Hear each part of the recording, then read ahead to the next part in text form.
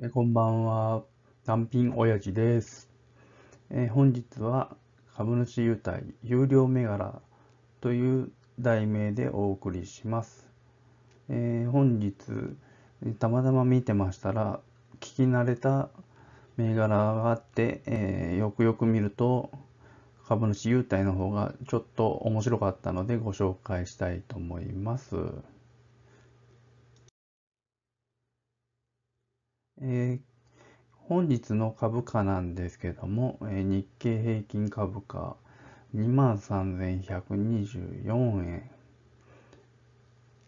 えー、こうやって見ると、えー、コロナからずっと上がって、今日も、え、最終的にはプラスですね。もうあっという間でしたね。もう2万3000、2万4000、一時は2万4000いくのかなと思いましたけども、まあ、でも、最終的にはプラスで終わったっていうところを見ますと、もう2番底はないのかという周りからも聞こえてきますけども、でもまだまだ値動きが激しい動き、日がだいぶ続くと思います。今回のおすすめ銘柄は、広瀬通商。えー本日の終値が1878円です。えー、ここの会社はどのような会社かと言いますと、えー、外国為替証拠金取引の大手になります。えーと、通称ライオン FX、FX を、取り扱っている会社となります。えちなみに私これやってましたけども、えまあ、多分 FX ランキングでは上位に来てると思います。この株価ですね、私初めて見たときは3600円、3000超えてましたけど、まあ去年から見ますと、まあ、2000円を上値に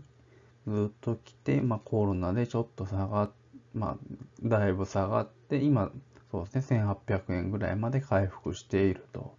いうところになります。まあ、コロナで下がったとはいえ、えー、売上の方は、まあ、トントンできていて、まあ、なんとか増収増益の予想でおります。で気になる優待なんですけども、えっ、ー、と、100株で1万円相当の自社キャンペーン商品となっております。で、権利確定月9月、えー、この自社キャンペーン商品っていうのがちょっとミソでありまして、私が聞いたところによると食品ばっかりって聞いてたんですけども、これを見る限りコップやサンダル、T シャツもありますね。で私、あの、FX やってた時に、あのキャンペーンでもらってたんですけども、キャンペーン商品の方もらってたんですけど、FX をある程度の額やるともらえるんですけども、あのラカップラーメンとか、え袋ラーメン、えミートスパ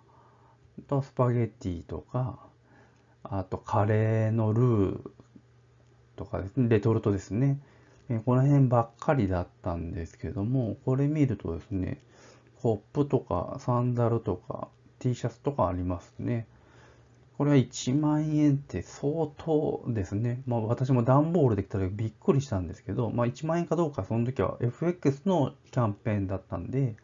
ちょっとわかんないんですけど、まあでもあの同じような商品が来るって聞いてます。まあこれの1万円をどう見るかなんですけども、まあ、いろいろ種類はあるとは思うんですけども、レトルトと、レトルト商品この、ね、コップとかの1万円、まあ確かに1万円ありそうだなっていう気はするんですけども、まあこれが商品券とどういうふうに比較するか、まあ個人そこが分かれるところじゃないかなと思います。で、ちょっと繰り返しになりますけど、権利付き9月で配当予想が、えー、30円となっております。この会社ですね、まあ、その前が26円、その前21円、16円、6円と、一応、ここ5年は毎年のように上がっております。で、優待の方、先ほど左写真にあるように自社キャンペーンの1万円分。で、合わせた総合利回りが本日の株価で計算すると6.92%。で、業績の方なんですけども、まあ、今年は横ばほぼ変わらないんですが、え若干の増収増益となっております。で、まあ、コロナの影響も、ま、多少はあるでしょうけども、そんなには、他の業種と比べてそんなにはないのかなとは思います。で、まあ、さっき喋ってしまいましたが、キャンペーン商品の1万円の中身は、まあ、ほぼレトルトだと思ってもらって大丈夫だと思います。私も食べたんですけど、美味しいかまずいかとか言われるとちょっと、まあ、だいぶ個人差分かれるんで、なんとも言えないんですけども、ちょっと会社名見たんですけど、製造元。まあ、一応、メイドインジャパンでした。で、あの、大阪の方で作られた商品でしたね。あの、ラーメンも、スパゲティも、カレーの方も、なんか大阪の方の会社が作られてたレトルト商品が主でした。あとですね、まあ、株価、この1878円をどう見るかなんだけど、私がまだ株に興味がない頃、FX やってた頃見てたんですけど、2年前がだいたい3600円、まあ、ほぼ3000超えとったんで、今だいぶ戻ったとはいえ1878円なので、まだまだ1878円で6.92%ってことなんで、まあ、まだまだお買い得と言えるんではないでしょうか。まあ、まあ、最後繰り返しになりますが、このキャンペーンの1万円をどう見るか、まあ、そこが人によって意見は分かれるところだと思いますが、私はもうちょっと安くなったら買いたいなと思ってます。まあ、かなり前から注目してたのに、もうあれよあれよという間に戻ってしまったんで、